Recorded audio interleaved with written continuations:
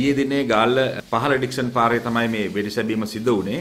එහිදී පුද්ගලයෙක් මිය ගියා ඒ වෙඩි වැදීම නිසා රාත්‍රී 8ට ආසන්න වෙලාවකදී මේ සිදුවීම වෙලා තිබුණා. මේ මිය ගිය පුද්ගලයා කාර් රථයකින් ගමන් කරමින් සිටින අවස්ථාවක පහළ ඩික්සන් පාර කියන ප්‍රදේශයේදී යම්කිසි ආකාරයකට ඔහුගේ කාර් රථයේ පිටුපසින් යතුරු පැදියක් ඇවිල්ලා ඒ යතුරු පැදියේ ගමන් කරන ලද පුද්ගලයන් තමයි මම හිතන්නේ මේ වෙඩි තැබීම සිදු කරලා තින්නේ දැනට අනාවරණය වන තොරතුරු අනුව කෙසේ වුවත් ඒ ස්ථානයේ තිබිලා හේ සුණ්ඩා කොප්පු 22ක් සොයා ගැනීමට හැකියාව ලැබුණා. T56 ගිනියාවකින් තමයි මේ වෙඩි තැබීම කළා තියෙන්නේ.